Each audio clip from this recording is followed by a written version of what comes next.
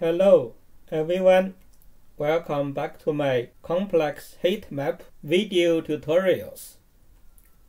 In this video, I'm going to show you how to set the color function in order to change the color in your heat map to your favorite color.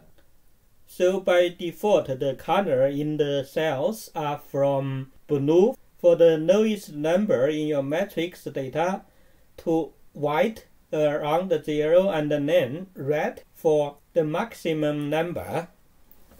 So you can change the color for this default setting. To do so, we need to use the Circlize package. So let's load the Circlize package. Then we use the color ramp 2 function in the Circlize package to set the color function for the heat map plot. For example, we want to change the color for the minimum number as green from blue. So we need to define two vectors in the color function. One is the value vector that represents the value in your matrix data. The other vector is the color. Here we set as green, white to red. So the minimum and the maximum value depends on the data set. Here we can set it to minus 2, 0, and 2. Then we set the color as green to white, then to red. So with this color function, the cells has a value below minus 2 will be green. The value between minus 2 to 0 will be linear incorporated from green to white color. For the value bigger than 2 will be red color. And for the value between 0 to 2, the color will be inserted into the cells with linearly interpolated color from white to red. So let's use some value for a demonstration. For example, we can set uh, a, a sequence value from minus 3 to 3. And you can see we will have 7 values here. So from minus 3 to 3. So let's set the color function. If we use this color function on sequence minus 3 to 3, so let's have a look you can see minus 3, minus 2 will be green color, then 0 will be white color, 2 and 3 will be red color, minus 1 will be a light green color, then 1 will be a light red color. So now we set the color function. We can use the color argument in the heat map function to plot our matrix data. So let's make the plot. You can see now we changed the color from green as the lowest number to white, then to red for the maximum number. So the cells with the number between 0 to 2 will be linearly interpolated with the red color. The cells with the value between minus 2 to 0 will be linearly interpolated with green color. So essentially the red color will be positive color and the green color will be negative color. Sometimes our data has outliers, so the color function will not be affected by the outliers, but uh, in the heat map plot, the color clustering will be affected by the outliers. So let's make a dataset and then use the heat map to show you the outliers in the heat map. So we can use the matrix data as the matrix tool. Then we change the first uh, number to 100,000 if you have a look at the MET2 matrix data, the first number is very big. Now we can make a heat map for matrix 2. So let's uh, plot the heat map. So you can see The color in cell 1 is still red, but uh, you probably notice the changes for the dendrogram. The dendrogram in the columns and also the dendrogram in the rows are affected by the outlier, but this uh, outlier didn't affect our plot for the color function. The color function is very useful when you want to compare different data set. For example, we can still use the same color function we set uh, just now. Then we can create another two mm, matrix data one is um, the matrix data we have divided by 4.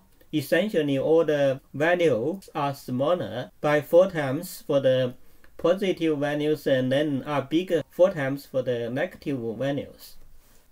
Then we can make another plot to change all the values in the matrix data as absolute value. So all the value will be positive.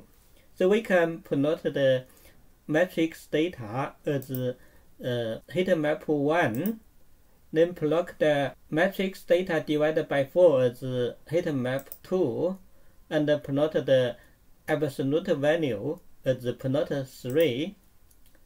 Now we can visualize three heat map together. So now we can zoom in to make it bigger. You can see we use the same color function to plot the three heat maps. So the color presented in each cells of three heat maps will be comparable using the same um, color function. So you can see the color function is also very useful to compare the value between different data sets. I'm sure you will have different uh, data to plot uh, the heat map. Sometimes the value in your data is continuous. So in this case, we can just simply provide a vector for the colors, and we don't need to provide the values for the value vector. So the color will be linearly interpolated from the minimum value in your dataset to the maximum value in your dataset. So for example, for our matrix data, we just provide the color vector as a rainbow. Then we can make the plot. We know a rainbow has seven different colors from purple to red. So you can see the minimum value in our data was set as purple color, then the maximum value was set as the red color. Then the cells with the value between the minimum value and the maximum value will be filled with other five different colors. However, this setting is not going to work well for the dataset that has outliers for example, we just made a uh, matrix data 2 with the outlier in the cell 1. Then we can use the rainbow color vector to plot the heat map for matrix 2. So let's plot it. You can see because of the outlier in the cell 1, the value is very big. It is 110,000 so you can see a simple setting for the color function is not going to work for your dataset if your dataset has outliers. Some, so sometimes you may have a dataset that has discrete numeric values in your dataset. So in this case, we need to set the color for each value. So let's create a discrete matrix data we can use the number 1 to 10 and create a matrix data with 10 rows and 10 columns. So let's create it. We can have a look at this data set. You can see we have the value from 1 to 10 in the matrix data. So we need to set the color for each value. So you know we have 10 numbers there. Let's just set the corner for 8 numbers. For example, 1 to 8. Let's set it and we can make a plot to see what are going to happen. And we just set the corner for 8 numbers. Let's make the plot. You can see because the data has number 9 and 10 as well. So the main body of the heat map did not show because we didn't set uh, the corner for number 9 and number 10. So let's reset the corners for all the values. Now we can make the heat map again. You can see now we have the corner for each value and now we can see the corner in each cell in the heat map. So if your data set just has letters in the matrix data, then it is easy to set the colors. So let's first make the discrete matrix again with letters from letter 1 to 4. That will be A, B, C, D. So let's create the matrix data. You can see now the matrix data only contains the characters A to D. Then we can set the color for each letter. Let's set it and make the heat map plot again. You can see we have the color in the each cell to represent the letter in the cell. And you probably notice uh, now if you have a matrix data contains the characters, the heat map doesn't show the dendrogram anymore for the rows and the columns. So in our single cell sequencing data, DNA, RNA, or protein data, we always have missing values the missing values will be indicated as NA, which means no value is available. So we can also uh, control the color for the missing value in our dataset using the NA color argument. So let's uh, replace some values in our matrix data with NA. So let's have a look at the matrix data with the missing values. You can see somewhere has a missing value in this data set. Then we can make a heat map plot again. So the default setting for the NA is a gray color. If we plot the heat map as a default setting, let's run the heat map. You can see any missing values in the matrix data will be indicated by a gray color, but this is not easy to see.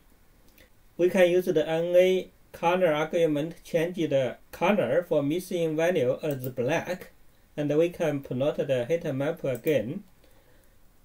Now you can see the color for all the missing values in the dataset is indicated by the black color in the cells.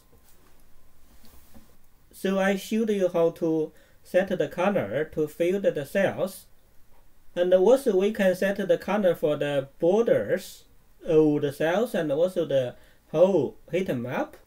So we use the border GP argument to set the color around the, all the cells. So let's set the outside border color as black and we can run the heat map Let's zoom in to see the borders outside the heat map. You can see we have a black dashed line surrounding all the cells now in the heat map.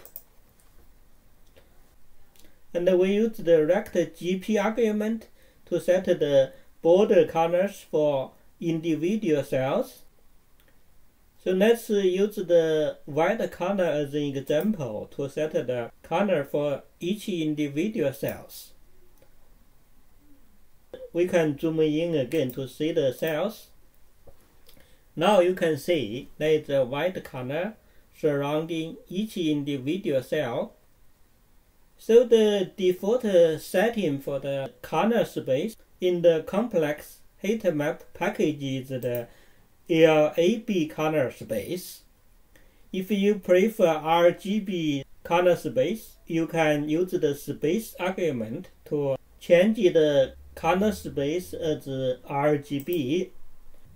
So let's set the default uh, LAB color space. As uh, color function 1 and set the RGB uh, color space. As color function 2.